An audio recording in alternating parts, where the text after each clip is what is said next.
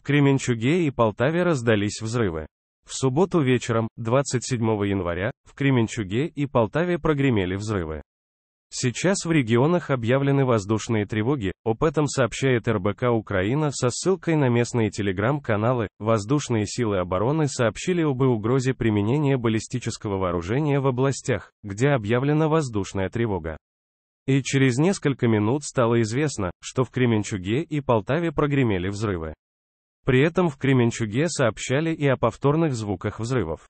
Сейчас официальная информация о взрывах не сообщалась. Воздушная тревога 27 января в субботу вечером в нескольких областях Украины начала распространяться воздушная тревога.